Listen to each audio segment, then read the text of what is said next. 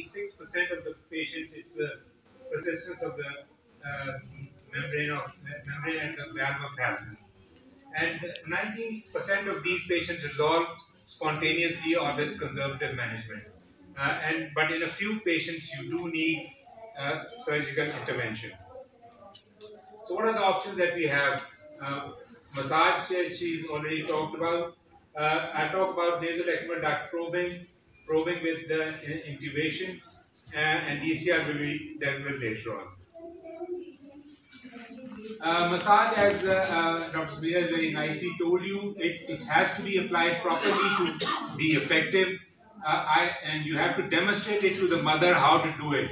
And you ask the, uh, the, the mother to cut her nails if she's doing it with a finger or do it with a cotton bud if, uh, if possible. Uh, topical antibiotics are not very effective and uh, should be used only if the, there is conjunctivitis. Uh, you need to apply a firm massage to the lacrimal sac fossa, which is actually be between the, in this depression here. And you have to demonstrate it to the mother, otherwise she's not going to do it properly. And you need to start the, applying the pressure from the top and, and, and apply it towards the nasolacrimal duct inferiorly. Uh, in uh, uh, very young children, uh, uh, mostly these, this uh, massage is effective in, uh, uh, uh, by the age of one year. So six months to a year, you only apply massage. But if, but in certain situations, you need to intervene early. Uh, what are these uh, uh, situations? One is if there is recurrent severe infections in, in, in, the infant, or if there is an amniotocele. The amniotocele, is, you see, is, is a very large bluish swelling which is irreducible and that is because of the, the blockage with the valve of Rosenmuller at the uh, common canaliculus and blocked by, uh, by the acid. So the amnio amniotic fluid has got into the sac but is not coming out of uh, coming uh, out of uh, back from the canaliculi. It is also not passing uh, into the nose. So in these situations you need to intervene early and do the probing early. Uh, or also if there is a acute dacryocystitis and a lacrimal sac abscess, then you need to intervene early.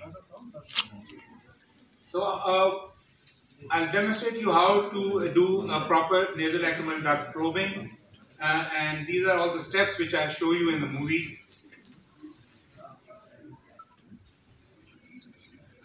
So once you uh, start, you need to you need to hold to pull the the eyelid laterally and dilate it very gently. And I use the upper punctum for doing it because it has more uh, uh, natural alignment with the nasolacrimal duct. You use uh, the smallest uh, probe, which is uh, a, double zero probe, and you just pass till the you feel the hard stop, and then you pass it down the nasolacrimal duct, and then you pass another probe underneath the inferior turbinate and see if the with metal to metal touch and you can see the movement of the the probe there so that you are sure that it is in in the uh, inferior meatus. You don't need to uh, uh, irrigate uh, the uh, nasal lacrimal duct in all patients.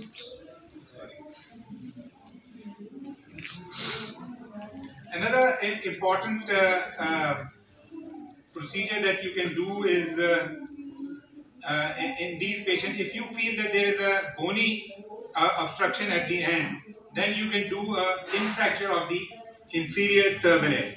Now this infracture of the inferior turbinate is very useful in, in patients who have a bony obstruction and then that is because the inferior turbinate is uh, is moved laterally and is blocking the uh, the opening of the uh, in, nasolacrimal duct. So what you do here is that you